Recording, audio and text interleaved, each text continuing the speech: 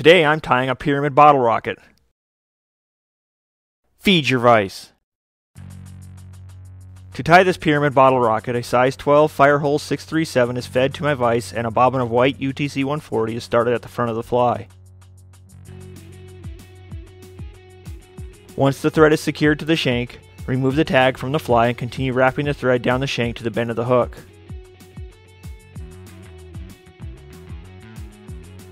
To create the tail of the pyramid bottle rocket, cut a small clump of calf hair from a tail. Then pull the small hairs from the bundle by pinching the bundle with the fingers of your material hand and pull the butt hairs from the bundle. Discard these small hairs and then with the tips behind the fly, measure the clump to about 2 shanks long. Pinch the fibers to the hook with the measured point sitting on top of the hanging thread and use tight wraps of thread to secure the calf tail to the shank until the thread is wrapped to just in front of the point of the hook. Now that the calf tail has been secured to the shank, lift the calf tail fiber butts from the fly with the fingers of your material hand and trim them from the fly, then cover the remaining butts with wraps of thread, as the thread is wrapped to the front of the fly and back to just in front of the point.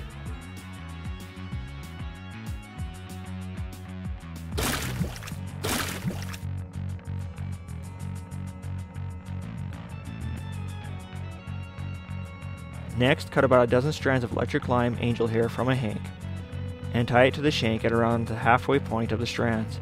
After a few tight wraps of thread has secured the angel hair to the hook, fold the fibers hanging over the front of the fly to the near side of the shank and towards the back of the fly. Then, trying to keep half of the angel hair fibers on the near side of the shank and the other half on the far side, wrap thread around the shank, calf tail, and angel hair until the thread reaches the bend of the hook. Then wrap the thread around the shank up to the front of the fly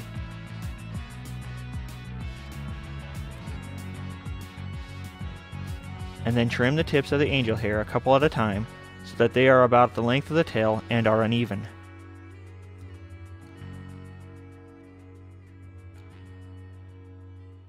Once the tail has been completed, wrap the thread up the shank to the front of the fly.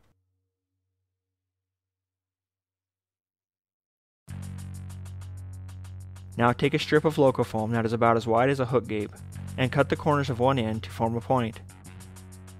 Then, with the decorated side down, cut a bevel on the point that was just created.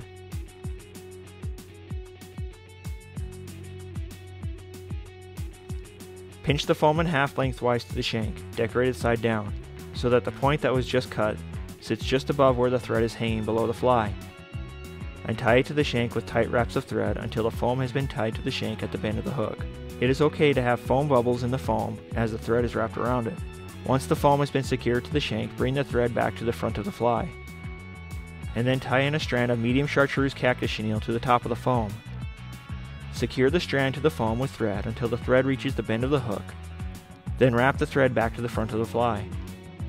Because I am using a rotary vise, I'll throw a half inch of thread into it and onto the shank. Place the bobbin into the bobbin cradle and rotate the fly with my material hand as I guide the chenille up the shank with my other hand as the chenille is wrapped up the hook. When the wrapped chenille reaches about an eye length behind the eye, I'll stop rotating the vise, and without releasing tension from the chenille, move it to my material hand. Then take the bobbin from the cradle, and tie off the chenille with a few tight wraps of thread around the shank, then cut the excess chenille from the fly.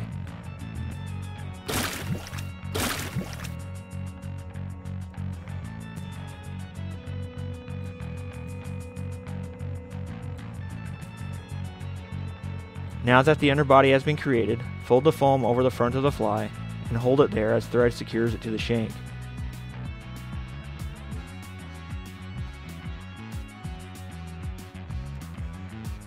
Lift the lip hanging over the fly as a couple 3-turn whip finishes are applied to the shank of the fly.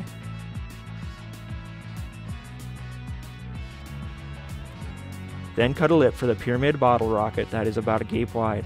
The bottle rocket is a variation of the Pyramid Lake tadpole and is a great stillwater pattern. Its use of calf tail hair with a bit of angel hair adds a bit more flair than the typical pyramid tadpole. If you like to tie stillwater patterns, check out my stillwater playlist to the above right. Or if you want to see other effective patterns for Pyramid Lake, check out the Pyramid Lake Flies playlist below that. Be sure to subscribe to my channel so that you can continue to see the tying demonstrations I create. Thanks for watching. Now, go feed your vise.